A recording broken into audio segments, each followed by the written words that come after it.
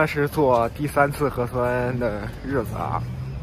我们现在哈尔滨已经做三次核酸了。昨天又爆出来一例是江北的那个利民，哈尔滨市区里应该就是长了一例，就是利民。其实利民也算得上是哈尔滨远郊吧，也不算离哈尔滨市区太近。知道这次做完了以后，下一次做会是什么时候？应该是很很快吧。从开始到现在，基本上就是没隔天儿。呃，今天做完，明天就接着去做，做了现在是第三回的全民核酸了。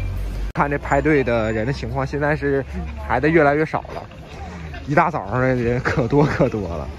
哎，就就在这边排队，拿着身份证就在这边去做了做核酸。这几天我始终我都没出门啊，在家窝着待了好几天。今天早上我记着好像是都排到了，排到那边了，现在是人少了很多。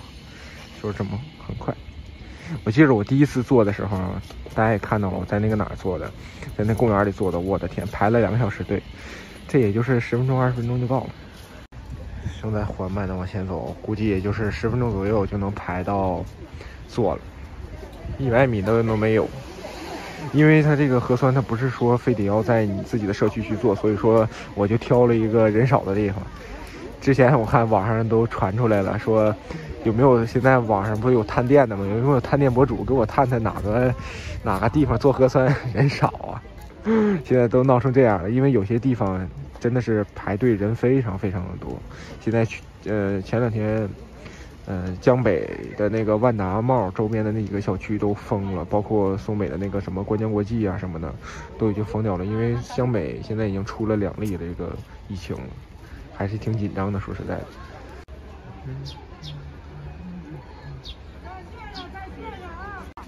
往前走，马上我再到这儿，也就是十分钟左右的一个时间，还非常非常近。再线上啊！二、三、四，来往里走。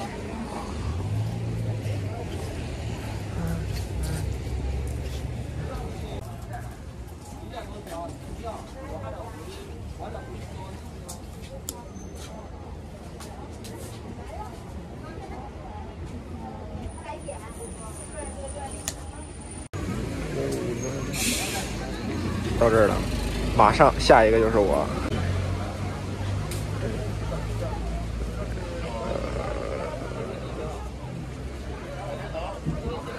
到我了。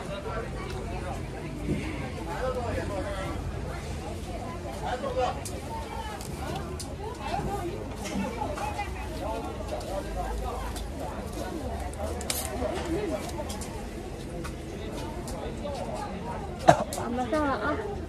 啊！